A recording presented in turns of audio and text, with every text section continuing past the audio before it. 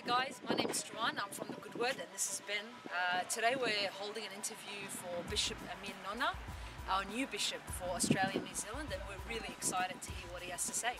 So at the moment we're going to take you upstairs to show you what the Good Word crew is setting up. Um, the interview will be upstairs, so just follow us.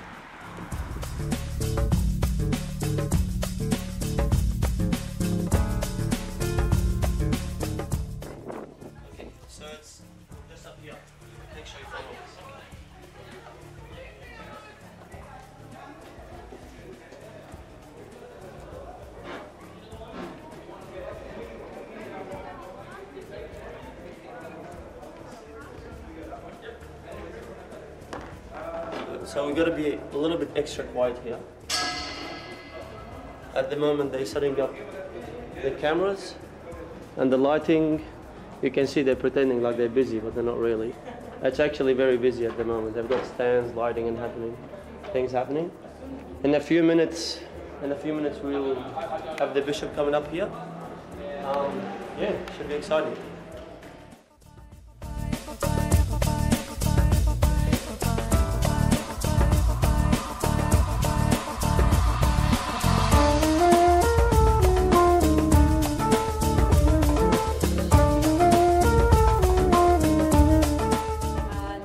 Start with Martin, who's uh, one of the team members here. Uh, Martin, a question. What's exciting about this interview? Um, honestly, I want to see his point of view of what's happening in Iraq. I want to see how he's had to deal with all these problems. It's obviously hard thinking about it, but obviously his point of view is going to be more intense. Oh, beautiful. Uh, you can see Martin sweating because of the hard work. Cut that out.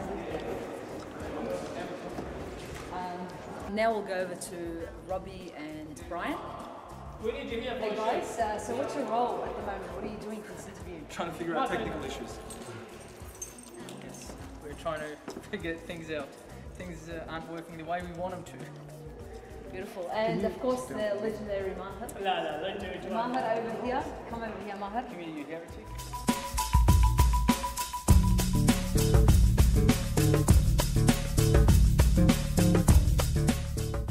I'm interested in to see actually what happened as an eyewitness there when he was in Mosul.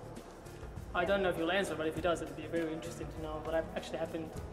Visit because the media, we hear a lot of different things from the media, we actually don't know the actual story from an eyewitness. Yeah. So it'll be interesting. And you've spoken to the bishop a few times already. Yes. What kind of character do you think he is? Very humorous, Yeah. joke making, very lovely. Yeah. Down to earth, Yeah, we do. Beautiful. down to earth. That's what we need. All right. Yes. Beautiful. What are you looking forward to, John?